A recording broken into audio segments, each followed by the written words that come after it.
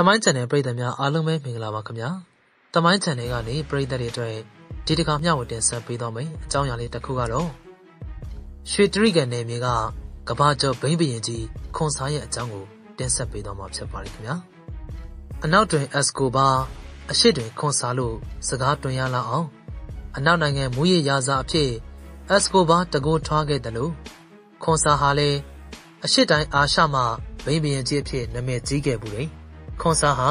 ရွှေတရိကန်နယ်စပ်မှာကဘာကျော်ဘိန်းဘရင်ကြီးတဦးဖြစ်တယ်။ခွန်ဆာဟာရှမ်းတရုတ်ကာပြားတဦးဖြစ်ပြီးတော့1996ခုနှစ်မှာမြန်မာစစ်အစိုးရထံမှလက်နက်မချမီအချိန်ထိအင်အားတထောင်ခွဲခန့်ရှိတဲ့ကိုပိုင်စစ်တပ်ဖြင့်ထိုင်းမြန်မာလာအိုနယ်စပ်ရွှေတရိကန်ဒေသကိုလွှမ်းမိုးနိုင်ခဲ့တယ်။ခွန်ဆာကိုတောင်သိန်းနှင့်စော်ဘွားနယ်ယခုတန်ရမ်းမြို့နယ်လိုက်ကော်ကျေးရွာအုပ်စုဖာဖိတ်ရွာနေ တရုတ်လူမျိုးဖခင်ခွန်အိုက်နဲ့ရှမ်းလူမျိုးမိခင်နန်းဆိုင်စုံတို့မှ1934ခုနှစ်ဩဂတ်စ်လ18ရက်နေ့မှာမွေးဖွားတယ်။တရုတ်အမည်ကတော့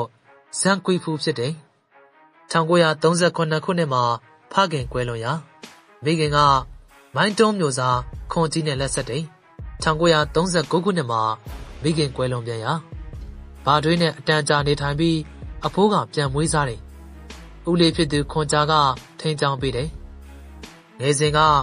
ကုမင်တန်တရုတ်ဖြူတက်မှာအမှုထမ်းခဲ့တယ်။နောက်ပိုင်းမှာကုမင်တန်မှခွဲထွက်ပြီးနောက်လိုက်ရာကနန်းအနှဲငယ်ဖြင့်ကိုပိုင်တက်ကိုတီထောင်ခဲ့တယ်။1960ခုနှစ်မှာမြန်မာအစိုးရဩဇာခံလွယ်မော်ကာကွယ်ရေးတပ်အဖြစ်ပြောင်းလဲခဲ့တယ်။ငွေဝတ်စုံနဲ့လက်နက်များကိုရယူပြီးတော့ရှမ်းပြည်တပ်မတော်ကိုတိုက်ခိုက်ပြီးနောက်တပ်အင်အား800အထိ တိုးချဲ့အားကောင်းလာတယ်။1964ခုနှစ်မှာ90ကျပ်နဲ့100ကျပ်တန်များကိုတော်လိုင်းရေးကောင်စီကဖျက်သိမ်းရာတောခုပြီးတော့ထိုင်းနယ်စပ်ဗတ်ဟင်တိုင်းမှာအခြေပြုတယ်။ရှမ်းနဲ့ဝနယ်မြေများအတွင်းနေပယ်ချက်ပြီးဘိန်းထုတ်လုပ်မှုကိုတိုးမြင့်ခဲ့တယ်။1969ခုနှစ်မှာရှမ်းပြည်နယ်အတွင်းရှိကုမင်တန်အကျွမ်းကြံတပ်များနဲ့မသက်မမြတ်ဖြစ်ခဲ့ပြီးတော့အင်အားဩဇာကျဆင်းခဲ့တယ်။1969ခုနှစ်မှာ မြန်မာအစိုးရကဖမ်းဆီး၍မန္တလေးထောင်မှာထိန်းသိမ်းရာသူရဲ့တက်ကတောပြန်ခိုသွားတယ်။ခွန်စားရဲ့လက်ထောက်တမှုဖြစ်သူကတောင်ကြီးမြို့ဆက်ဆန်ထွန်းဆေးရုံမှာလာရောက်တာဝန်ထမ်းဆောင်နေတဲ့ရုရှားဆရာဝန်နှစ်ဦးကိုဖမ်းဆီးကခွန်စားနဲ့လဲလှယ်ရန်တောင်းဆိုခဲ့တာကြောင့်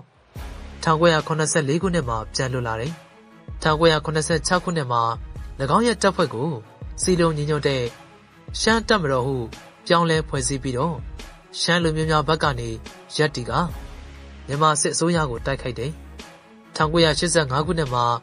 စက်ကုန်းစိန်ခေါ်ဝိုဟင်ဦးဆောင်တဲ့ရှမ်းတော်လှန်ရေးကောင်စီနဲ့ပူးပေါင်းပြီးစက်ကုန်းစိန်ကဥက္ကဋ္ဌခွန်စားကဒုဥက္ကဋ္ဌဖြစ်တာဝန်ယူကြတယ်။ဟိုမိန်ဌာနချုပ်ကိုတီထောင်ကရှမ်းပြည်နယ်အရှေ့ပိုင်းတခွင်နဲ့ရှမ်းကယားနယ်စပ်အထိထိန်းချုပ်လာနိုင်ခဲ့တယ်။1992ခုနှစ်မှာစက်ကုန်းစိန်ကွယ်လွန်ရာ ဥက္ကဋ္ဌဖြစ်ရွေးချယ်ခံရတယ်။အဲ့ဒီနောက် MTA ခေါ်ဘုံတိုင်းတပ်မတော်ကိုဖွဲ့စည်းခဲ့ပြီးတော့ထိုင်းမြန်မာလာအိုနယ်စပ်မှာရှိတဲ့ရွှေတရိကန်ဒေသမှာဘိန်းဖြူအမြောက်များထုတ်လုပ်ခဲ့တာကြောင့်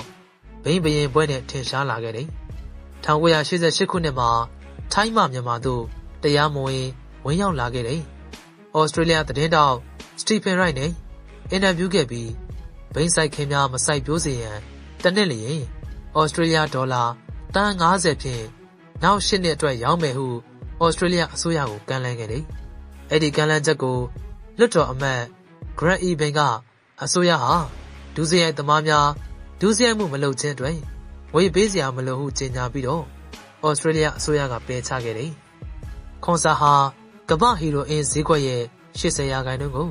ချုပ်ကိုင်နိုင်ခဲ့သည့်အထိအင်အားကြီးထွားလာခဲ့တယ်။ခွန်ဆာဘလောက်ကျွဲဝခဲ့သလဲဘယ်သူမှအတိအကျမသိခဲ့ပါ။ The Richard website ကတော့ခွန်စားရဲ့ကြွယ်ဝမှုကို American 9ဘီလီယံဟုခန့်မှန်းထားတယ်။1989ခုနှစ်မှာ American ပြည်ထောင်စုနယူးယောက်တရားရုံးကခွန်စားကိုဘိန်းတန်တထောင်တင်ပို့ရန်ကြံစည်မှုနဲ့တရားစွဲဆိုတာကိုတုံ့ပြန်တဲ့အဖြစ်သူထုတ်လုပ်တဲ့ဘိန်းပြူအားလုံးကိုဝယ်မယ်ဆိုလို့ရှိရင်နိုင်ငံတကာမူရစ်ဈေးကွက်ကိုဖြန့်ဝေရောင်းချခြင်းမပြုတော့လို့အမေရိကန်ကိုလှောင်ပြောင်ကမ်းလှမ်းခဲ့တယ်။1995ခုနှစ်မှာ တက်တွင်းပုံကံမှုဖြစ်ရာ1996ဇန်နဝါရီလမှာမြန်မာအစိုးရထံလက်နက်နဲ့ငြိမ်းချမ်းရေးလဲလှယ်ပြီးတော့ရန်ကုန်မှာပြောင်းရွှေ့နေထိုင်နေခွန်စာကိုအမေရိကန်နိုင်ငံကစုကြေးဒေါ်လာ2တန်းထုတ်ပြန်ကြေညာခဲ့ပေမယ့်ဖန်စီပေးဖို့ရေးကိုမြန်မာစစ်အစိုးရကညှင်းဆိုခဲ့တယ်။အဲဒါကြောင့်ဥခွန်စာဟာအမေရိကန်အစိုးရလက်ကိုလွှဲပြောင်းပေးခြင်းမခံရနိုင်ဆိုတဲ့ယုံကြည်ချက်ဖြင့်မြန်မာအစိုးရနဲ့ညှိနှိုင်းရန်ဆုံးဖြတ်ခဲ့ခြင်းဖြစ်ကြောင်း NTA ဗဟိုကော်မတီဝင်တအူအားကိုးကားပြီးတော့ခွန်စာဥဆောင်တဲ့ NTA အဖွဲ့ဘာကြောင့်လက်နက်နဲ့ငြိမ်းချမ်းရေးလဲလှယ်ရတယ်လဲဆိုတဲ့စာအုပ်ကိုမြန်မာအစိုးရကမြန်မာဘာသာဖြင့်ထုတ်ဝေခဲ့တယ်။ရှမ်းပြည်နယ်မှာရန်ကုန်မြို့တော်ကိုတွားရောက်အခြေချပြီးမကွဲလွန်ခင်အချိန်ထိ